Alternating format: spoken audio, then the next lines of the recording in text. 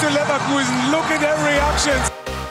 বাতাসে ভাসছে শিরোপার গন্ধ বিজয় উৎসবের প্রস্তুতিতে পতাকা ব্যানার স্কার্বের সঙ্গে বুন্দেসলিগার ট্রফির রেপ্লিকা নিয়ে মাঠে হাজির বায়ার লেভারকুসেনের সমর্থকরা এমন দিন তো কালে ভদ্রে আসে তাই তো ট্রফির ক্ষুদায় থাকা লেভারকুসেনের সমর্থকদের সহ্য হচ্ছিল না অপেক্ষা তিরাশি মিনিটে ফ্লোরিয়ান ভার্টেস দলের চতুর্থ গোল করার সঙ্গে সঙ্গে নিরাপত্তা বেষ্টনী ভেঙে মাঠে প্রবেশ করে দর্শকরা। ভার্টেস হাতের ইশারায় থামতে বলেন ক্ষুধার্ত দর্শকদের। হাত উঁচিয়ে অপেক্ষা করতে বলেন জাভি আলোনসো। খেলা কয়েক মিনিট বন্ধ থাকার পর আবার শুরু হয়। তবে উননব্বইতম মিনিটে দলের হয়ে ভার্টেজের করা পঞ্চম গোলের পর বাকি এক মিনিট চালানো সম্ভব হয়নি খেলা। রেফারি বাধ্য হন শেষ বাঁশি বাজাতে। কারণ দর্শকরা তখন মাঠ দখল করে নিয়েছে। প্রায় এক যুগ ধরে বুন্দেসলিগায় ঘটে চলেছে একই দৃশ্য।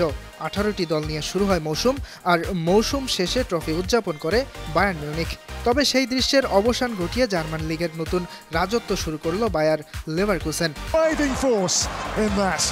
একশো বিশ বছরের ইতিহাসে লিগ শিরোপার স্বাদ কখনো পায়নি লেভারকুসেন। পাঁচবার হয়েছে রানার্স আপ। চূড়ান্ত সাফল্যের দেখা না পাওয়ায় লেভারকুসেনকে কৌতুক করা হতো নেভার কুসেন আখ্যায়। দিনের পর দিন হাঁটতে থাকা সেই নেভার কুসেন ইতিহাস গড়ল জাবি আলোনসোর হাত ধরে। তাই তো ম্যাচ শেষ হতেই ধারাভাষ্যকার বলে উঠলেন নেভার সে নেভার কুসেন এভার এভার অ্যাগেইন নেভার কুসেনকে দিয়ে সম্ভব নয়, এমন কথা আর কখনোই বলবেন না।